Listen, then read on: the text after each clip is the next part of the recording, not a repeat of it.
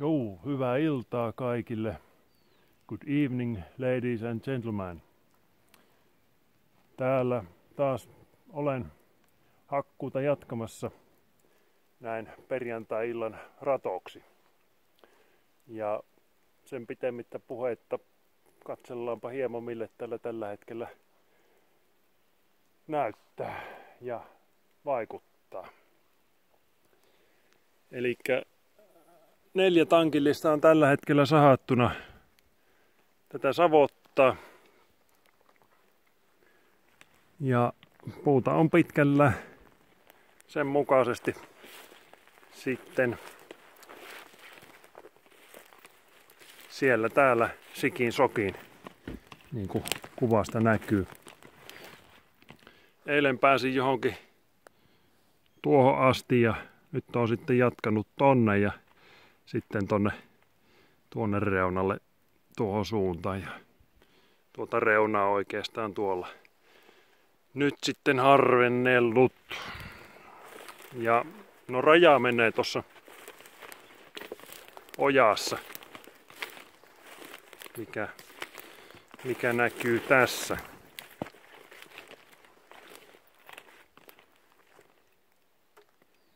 So here goes the border of the of this forest stand. Vähän englantia väliin tälle kanadalaiselle kanavan seuraajalle.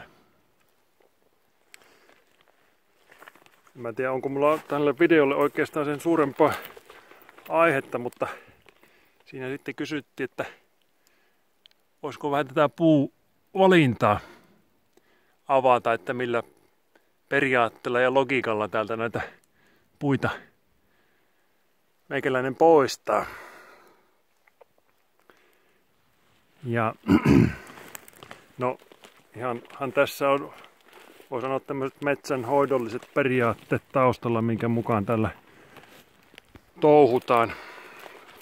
Ja kysymyksessä kun on harvennus,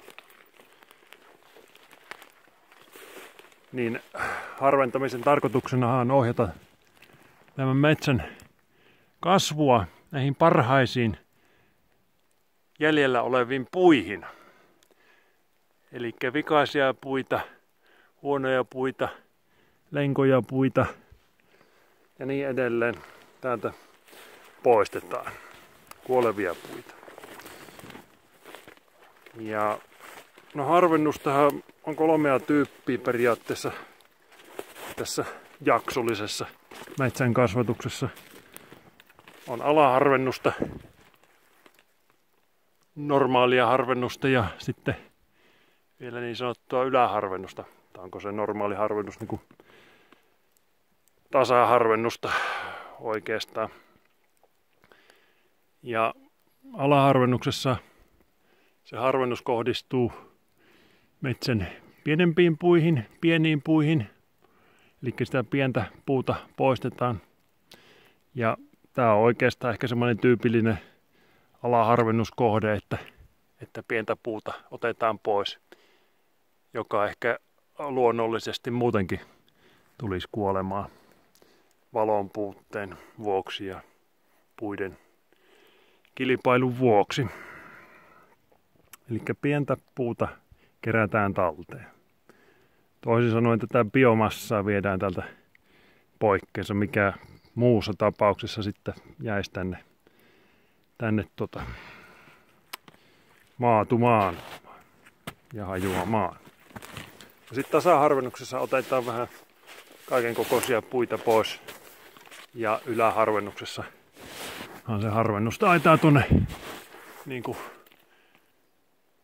suurimpiin puihin kohdistua ja ehkä siinä on ajatuksena hieman tämmöistä niin kuin, niin kuin kiertoajan pidentäminen, että, että, että viedään isoja puita pois, josta ehkä saadaan tukkiakin ja tuolla lailla ja sitten, sitten, sitten kasvatetaan vielä sitä pientä puu, pu, puustoa, jolla on niin kuin selkeä kasvupotentiaali olemassa. No, nämä on ehkä varmaankin ne semmoset ohjeet, mitä niinku tuommoista oppikirjoista löytyy. asian tiimoilta. Mutta sitten ehkä tämmöisen niinku, niin kuin käytännön homma, mitä täällä tehdään, tai meikäläinenkin tekee, niin että millä periaatteella sitten näitä puita tosiaan täältä valakkaillaan öö, kaatolistalle, niin, niin öö, itsellä ainakin tämä homma lähtee siitä, ainakin tällä kohteella, että otetaan tämmöiset varmat pois.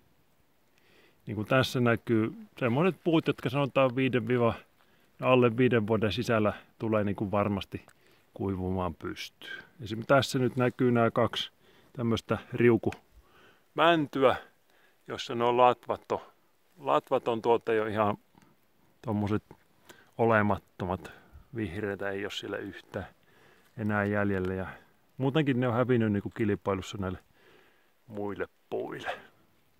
Eli tuommoiset kaadellaan, tai kaadan täältä ensimmäisenä poikkeessa. Varmat pois. No sen jälkeen jää näitä hyviä puita jäljelle. Ja harvennushan on puiden latvojen hoitamista, eli niille latvoille annetaan sitä kasvutilaa. Tietysti valitaan niitä hyviä puita, joilla on hyvä latva olemassa. Ja, ja, ja sen mukaan sitten niin kuin harvennetaan, että, että, että latvat on vapaana toisistaan. Siellä on kasvutilaa olemassa puiden latvojen välillä.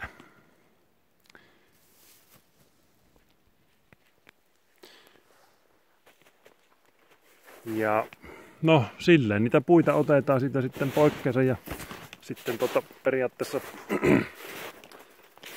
periaatteessa no katsotaan sitä tiheyttä mihinkä se rupeaa asettumaan. Mutta jos sitten haluaa niin kuin mitata, että onko tämä nyt hyvä, niin siihen on, on, on olemassa tietysti nämä relaiskoppitaulukot, josta pystyy, pystyy katsomaan, että, että tota, onko se taulukko arvojen mukaan niin kuin oikealla hehtaarilla se harvennustiheys. No sitten näitä muita juttuja, mitkä vaikuttaa tähän puiden poistamiseen sen laadun lisäksi on tietysti vähän tämä yleinen hapitus täällä. Täällä on jonkun verran niin tämmöistä aukkoa olemassa. Mä nyt vähän yritän jättää sille, että tähän aukon reunalle jäisi sitten puita, että nämä puut saisi niin hyödynnettyä tätä aukon kasvutilaa tästä. Ja tuolla nyt ainakin on vähän semmoisen isompi aukko, että siihen sen reunoille halusi ainakin jättää puita, puita sitten. No sitten mä tuota koivua otan vähän reippaammin täältä pois. Nämä on hies koivu. Veikka, että näistä monet tulee tuota kuivumaan, lahoamaan pystyyn. Sillä, sillä periaatteella sitten noita ehkä voi ottaa vähän reilummin poikkeessa. No sitten, sitten tota, ää, minkä takia tuohon kohti on sitten jätetty tommonen hentose olone mänty kasvamaan tämä tässä, mikä näkyy. No se on jätetty siihen sen takia, että jos tuon otan pois, niin siihen tulee tommonen melkein aarin kokoinen aukko. Vaikka se on, on niin kuin pikkasen alempaa puujaksoa kuin noin isot puut tossa. Mutta on kyllä hyvin kasvutilaa tuossa, että se nyt on siihen sen takia jätetty kasvamaan. Tuohon on sitten tuommoinen koivu kepakko jätetty. Sitä hikiseen saisi ehkä minimi, minimi koivukuitu pöllin tehtyä. Mutta ajattelin, että jätänpä sen nyt tuohon vähän monimuotoisuusjuttujen takia sitten kasvamaan. Eli näitä periaatteita nyt on monenlaisia. tai näkökohtia monenlaisia, mitä joutuu tänne pohdiskelemaan.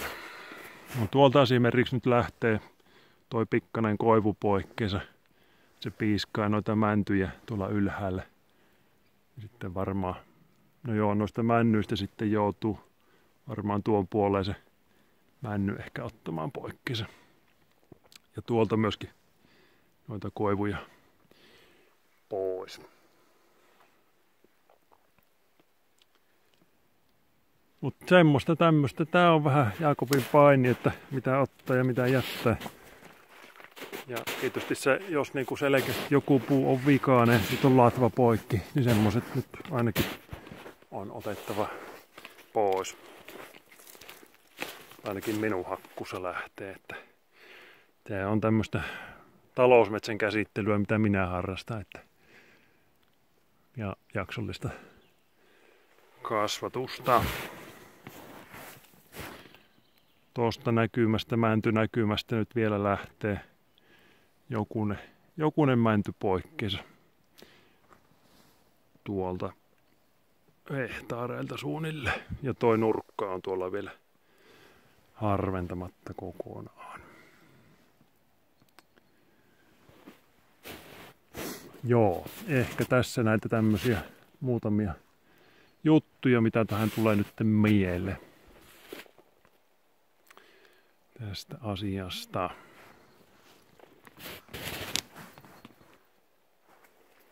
Mitäs muuta te haluaisitte kuulla?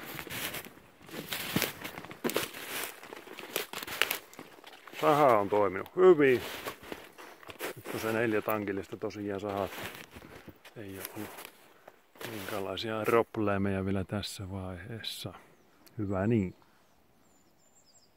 Niin, semmonen homma tietysti tässä äh, harventamisessa on, että, että äh, tämä meikäläisen hakkua on hieman tämmöistä poikkeuksellista hakkuuta, sillä tässähän ei tehdä ajouria, niin kuin ehkä normaalisti, no lainausmerkeissä normaalisti tehdään. Eli jos vaikka maataloustraktorilla tai kuormatraktorilla ajettaisiin nämä puut täältä pois, niin tänne pitäisi metsurin hakata ajourat, eli ajoura avata ensimmäisenä.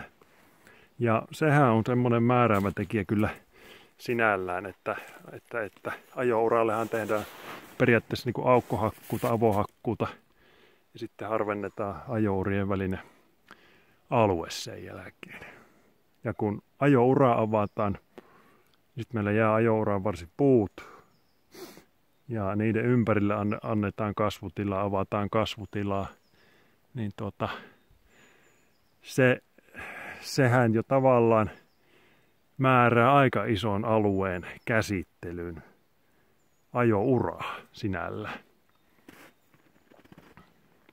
Mutta tässä tyylissä, kun mulla tämä puitte pois ajo tapahtuu mönkiellä, niin tänne ei avata minkäänlaisia ajouria, vaan tällä ajellaan sitten puiden, puiden lomassa.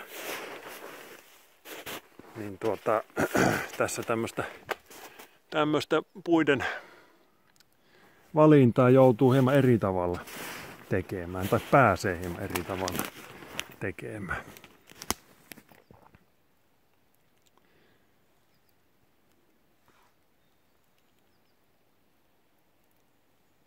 Ja tässä tietysti jää vähän enemmän tänne puitakin pystyyn kuin ajourilta.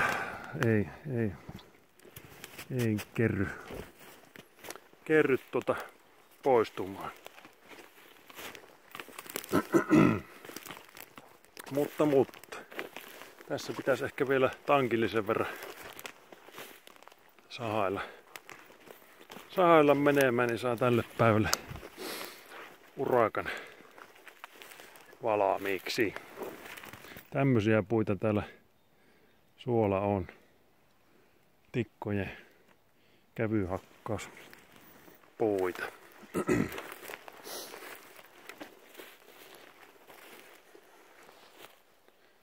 Naapurin suo on siellä.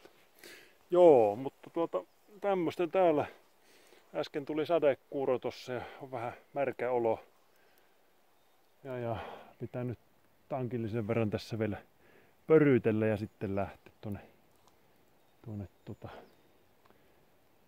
majoitukseen.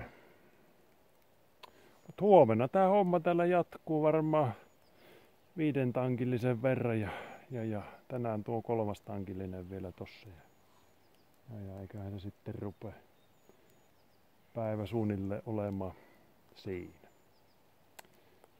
Että ei muuta kuin hyvää illan jatkoja. Morjens.